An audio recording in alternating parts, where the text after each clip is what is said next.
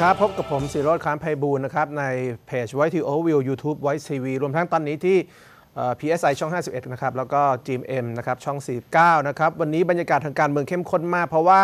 สัปดาห์หน้าหรือว่าอีกไม่กี่วันก็คงจะมีการเปิดสภาพิปรายเรื่องการถวายสัตว์ไม่ครบแล้วนะครับ ความพยายามของรัฐบาลในการโยกโยนในการเตะถ่วงนั้น คงจะเดินมาถึงสุดทางแล้ว เพราะฉะนั้นต้องจับตาดูกันต่อไปว่า หลังจากนี้เรื่องของการถวายไม่สัตว์ถวายสัตว์ไม่ครบนั้นจะ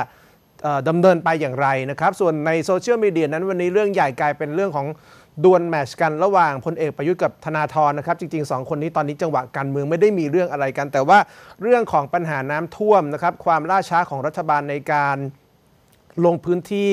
ดูน้ำท่วมอย่างล่าช้ากลายเป็นประเด็นที่คนในโซเชียลมีเดียตั้งคำถามนะครับ เข้าใจว่าตอนแรกฝั่งกองเชียร์ประยุทธ์จวกก่อนว่าธนาธรอยู่ไหนมีแฮชแท็กมาว่าธนาธรอยู่ไหนทำไมไม่เห็นลงไปทำอะไรในการแก้ปัญหาน้ำท่วมบ้างนะครับ ซึ่งเป็นยุทธศาสตร์ที่ผิดพลาดของฝั่งกองเชียร์ประยุทธ์เพราะว่าในโซเชียลมีเดียนะครับธนาธรคือเทพเจ้า คุณอย่าไปยุ่งกับธนาธรหรืออนาคตใหม่โดยเด็ดเสร็จเด็ดขาดสิ้นเชิงนะครับออกองเชียร์ประยุทธ์ จวกว่าธนาธรอยู่ไหน หลังจากนั้นฝ่ายกองเชียร์ธนาธรก็เลยจวกกลับว่าลุงตู่อยู่ไหนนะครับเป็นประเด็นที่ทะเลาะกันไปทะเลาะกันมาในโซเชียลมีเดียท่ามกลางสถานการณ์น้ำท่วมท่ามกลางสถานการณ์พายุที่ยังน่าเป็นห่วงอยู่ว่าจะมีจุดสิ้นสุดอย่างไร โดยเฉพาะในเวลาที่ความเดือดร้อนของประชาชนในภาคเหนือก็ดีในภาคอีสานก็ดีนั้น หลายพื้นที่ยังไม่ค่อยมีสัญญาณว่าจะดีขึ้นนะครับ ต่อให้รัฐบาลยืนยันว่า เดี๋ยวพอพายุหมด เดี๋ยวพอฟ้าฝนเบานะครับ ปัญหามันก็จะค่อย ๆ หายไปเองนะครับ แต่ถ้าเป็นอย่างนั้นเราไม่ต้องมีรัฐบาลเป็นรัฐบาลก็ได้นะครับ ถ้าการแก้ปัญหาน้ำท่วม การแก้ปัญหาพายุ ขึ้นอยู่กับฟ้าฝนพระพิรุณท่านจะเมตตาเเมื่อไหร่นะครับ อย่างนั้นเราให้นางแมวเป็นรัฐบาลก็ได้นะครับ การมีรัฐบาลจำเป็นจะต้องทำอะไรมากกว่าการแก้ปัญหาแบบรอฟ้าฝนเมตตานะครับ อย่างไรก็ดีนะครับ หลังจากที่มีการ วิพากษ์วิจารณ์กันมานานว่าตกลง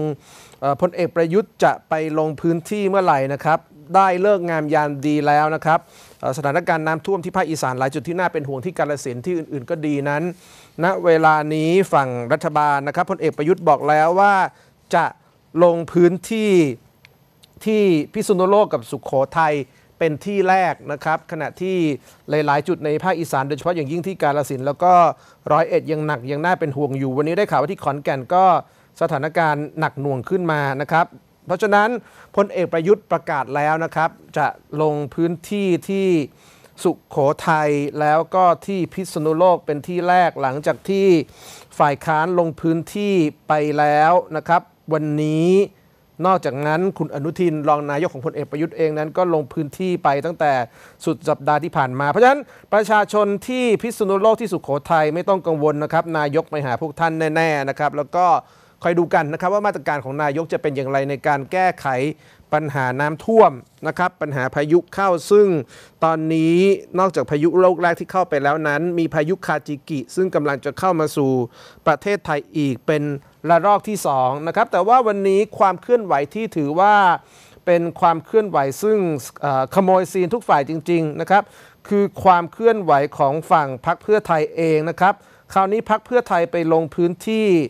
ไม่ได้ไปในนาม 7พักฝ่ายค้านนะครับ แต่ไปในนามพักเพื่อไทยเองล้วนๆเต็มๆนะครับ ไปลงพื้นที่ที่จังหวัดร้อยเอ็ด นะครับแล้วก็คนที่ไปลงพื้นที่นั้น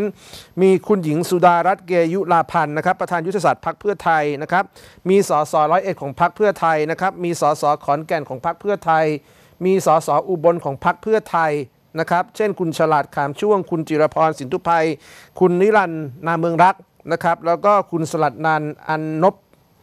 พร คุณการุณโหสกุลนะครับคุณชูวิทย์ พิทักษ์พรพันลบ คุณเสกสิทธิ์ไวยนิยมพงศ์หลาย ๆ คนไปลงพื้นที่กันหมดนะครับ แล้วสิ่งที่เราเห็นวันนี้ก็คือ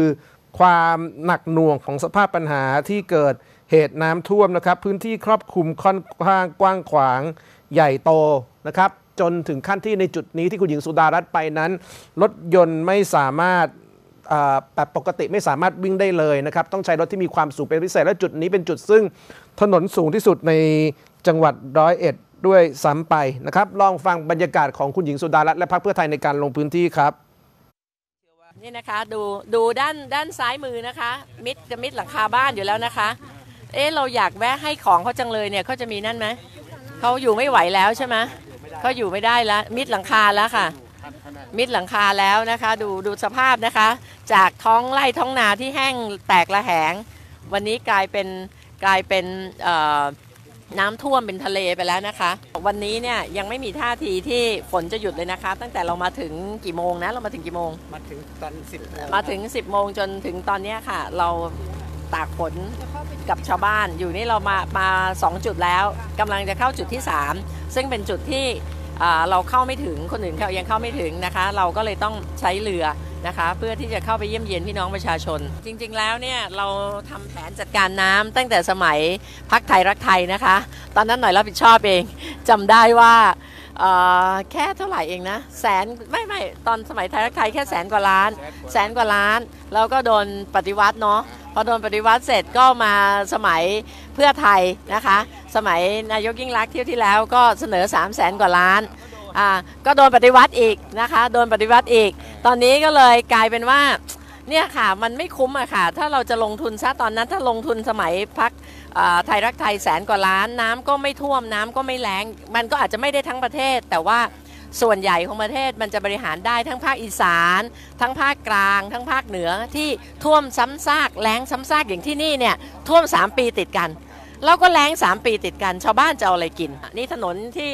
บอกว่าสูงที่สุดในอำเภอนะคะ แต่ว่าก็ท่วมหมดแล้วถนนอื่นๆ ก็ท่วมไปหมดแล้วสสกุยปีนี้คิดว่าไงเรื่องข้าวนี่ ข้าวจะไม่มีกินกันเนาะครับ ตอนนี้ก็ข้าวเนี่ยหมดแล้ว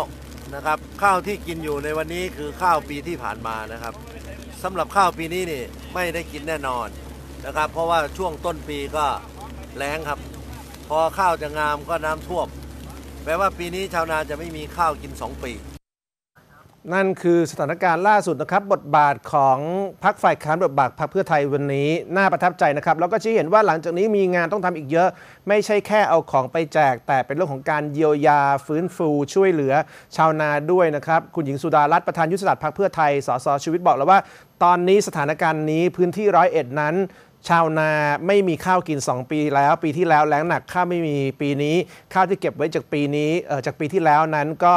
ร่อยหรอหมดไปปีนี้ปลูกข้าวใหม่ก็เกิดเหตุน้ำท่วมนะครับไม่มีข้าวเก็บไว้ 2 ปีแล้วนะครับเป็นสถานการณ์ความอดอยากที่จะตามมาหลังจากพื้นที่นี้นะครับแล้วก็เป็นพื้นที่ซึ่งเกิดน้ำท่วมเกิดปัญหาแบบนี้ 3 ปีติดต่อกัน ถ้ามีแผนจัดการน้ำถ้าแผนจัดการน้ำของรัฐบาลยิ่งลักษณ์ไม่ถูกล้มไปด้วยการยื่นคำร้องของใครก็ไม่รู้ในช่วงพยายามล้มรัฐบาลที่มาจากการเลือกตั้ง วันนี้เราจะมีแผนจัดการน้ำแล้ว วันนี้เราจะไม่ใช่ประเทศซึ่งต้องรอว่าฟ้าฝนจะพิโรธเมื่อไหร่ ถ้าฝนไม่ตกนาล่มเมื่อไหร่ ถ้าฝนตกหนัก นาล่มเมื่อไหร่ นั่นคือการเสียโอกาสของประเทศไทย และเป็นการเสียโอกาสที่เกิดขึ้นในรอบ 5 ปี โดยที่รัฐบาลชุดนี้อ้างว่าตัวเองมีความสามารถในการบูรณาการแก้ปัญหาน้ำมากอย่างต่อเนื่องนะครับ นี่คือความเป็นจริงที่เกิดขึ้นกับชาวนานะครับ